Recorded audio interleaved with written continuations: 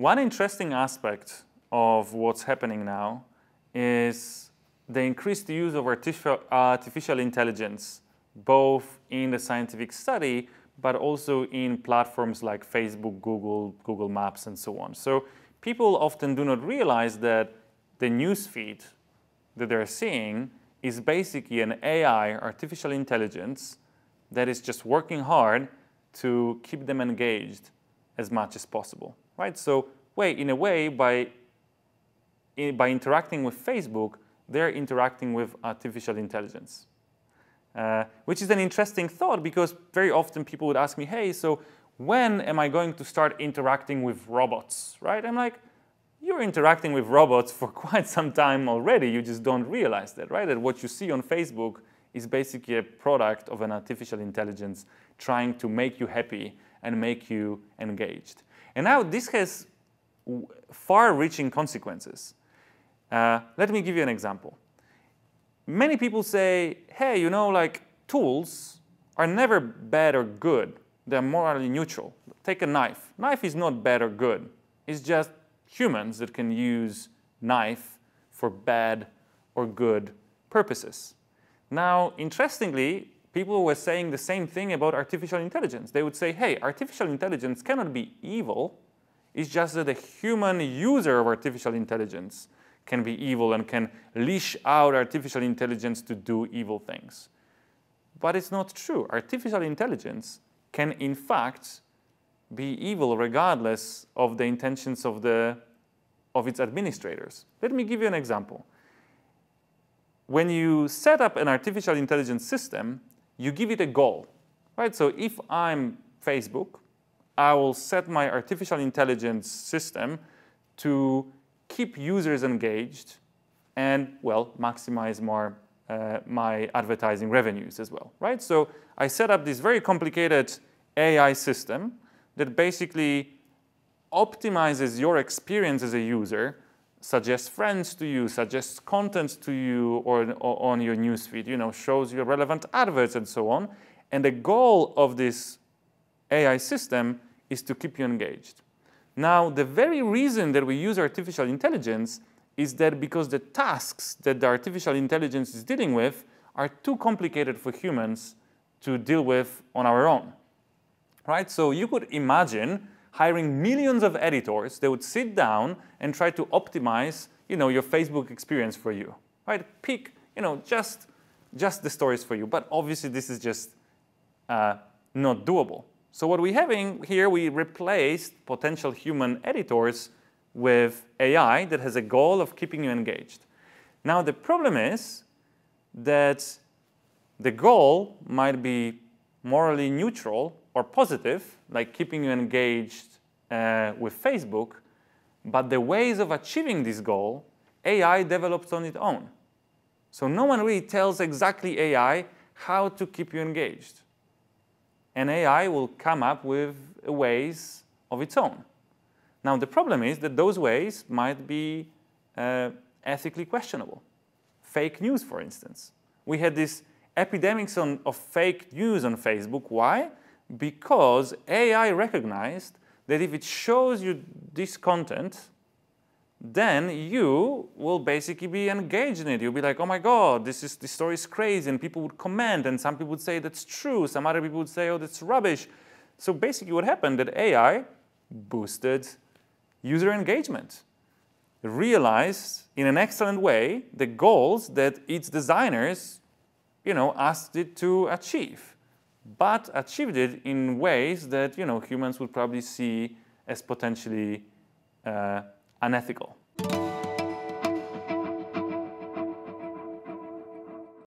So the ideas behind the algorithm, like when you hear machine learning or neural networks or deep learning networks, ideas behind those models, those artificial intelligence models, are really simple. You could explain them to a seven-year-old uh, really easily. But what happens is that those very simple rules that are used to create those models, which are basically just, very often this is just multiplication and addition that are being used to build those predictive models. But then when you add up millions of elements in your equation, it, or even hundreds of elements, honestly, in your equation, it's very easy for a computer to work with. It's completely impossible for a human being to comprehend.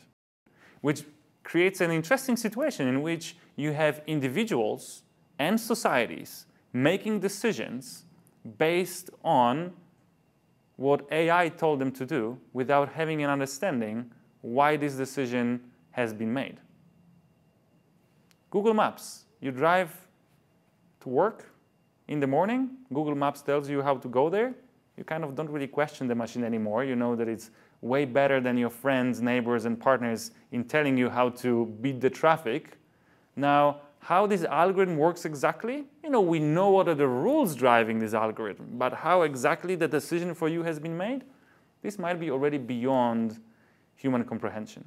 How the stories were chosen for you for your Facebook uh, newsfeed, we know the simple rules that we ask the machine to follow, but exact intricacies of this machine learning model uh, that is actually driving the content or uh, driving the choices of the content to appear in newsfeed beyond our comprehension. Uh, we have now computers analyzing X-rays in order to detect cancer and suggest the best treatment. And we know that those computers are more accurate than doctors at making those decisions. And we have very limited understanding why exactly this particular decision has been made. Well, you can ask the model. The model will be like, hey, this is really simple. Here is 1 million numbers that drove me to make this decision. Can a human being comprehend, you know, 1 million or even, you know, 100 numbers simultaneously? Uh, our brains did not evolve to, uh, uh, to work in this way.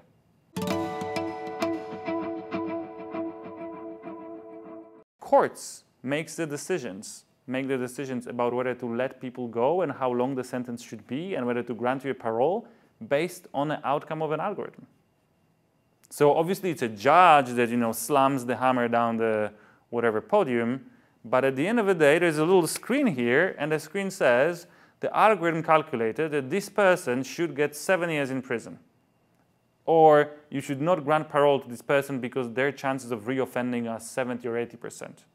And this number is a product of hundreds of variables that go into it. So no human being can understand. There's a mathematical equation, so it's, it's a deterministic uh, uh, process. We know that it works because you can apply it to previous cases, and in fact, it works for the benefit of humans because what it happens is that when the, when the judges, when judge just sees you for a few minutes and you know has few seconds to kind of skim through your case, and you are un unlikely to be black uh, then you basically just go to prison because like that's just safest option. Like, oh, just another 100 people in prison, who cares, right? That's the safest option. But now what happens is there is this algorithm there that says, in fact, you know, your intuition is to put them in prison, but they're unlikely to reoffend, so why don't you let them go? So we have evidence that those algorithms, in, in fact, are making prisons more empty because, you know, they let judges be more liberal with their choices. But on the other hand, we have the length of your sentence being decided not by a human being anymore, but by a computer. The time of an algorithm is way cheaper than the time of a judge. So what will happen now is that actually prosecution or, or they, they will, so counties buy this software. There are a few companies in the US that produce this software. And it's basically big data software. They analyze life histories and cases, case materials, and you know some demographic variables like you know number of siblings, number of children, how many convictions you had in the past, and whatnot.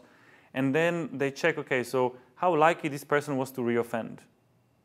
And you build this huge statistical model, and it basically says, okay, a person that has three siblings and did not have this offense in the past or whatnot, you know, is unlikely to reoffend, so why don't you let them go? And the, and the, the prosecutor will actually give it to the judge, it's kind of printed out of this cert well, certified, well, accepted in a given jurisdiction computer program, and the judge will be like, you know, okay. Now there's an interesting psychological phenomena here because if the judge disagrees with the program, there's only one way in which judge can disagree with the program, namely the judge could decide to give you a longer sentence. Because now imagine no human being would risk saying, oh, software says this person is likely to reoffend, I will let them go. Why? Because then the judge takes a responsibility for shortening the sentence against the advice of the computer overloads, uh, which basically means that you know you don't have judges disagreeing with the algorithm because why would they take this responsibility? If the person reoffends, they can always say, look, according to the model, it was unlikely to happen. I just follow the advice of the model. But if the model says this person is going to reoffend and judge lets you go, and then someone comes after you and says, hey, why did you let this guy go? You, what did you say? You acted against the, what the algorithm said. So literally, we have uh, cases of freedom and, uh, and imprisonment decided now by a mathematical formula that no one understands because people don't understand how those formulas work. It's highly disappointing, but the fact is that humans are just no better judges of each other than algorithms are. And if anything, algorithms are better judges of us than humans are because algorithms are not sexist, are not racist, are not ageist, and are basically not biased against you. Right? We have so much evidence if you have a black defendant and a white defendant, exactly the same history, black just basically will always get a larger sentence. Now for a computer, it will not happen because computer doesn't care about the color of your skin. So you could argue that basically employing algorithms in such cases, and we have a lot of evidence, actually lowers the sentence length and lowers the reoff reoffending rates. So it's great for the society and great for the defendants. The problem that I have with it, and I don't know how to solve it, is that we follow those decisions and we have no idea how those decisions have been made.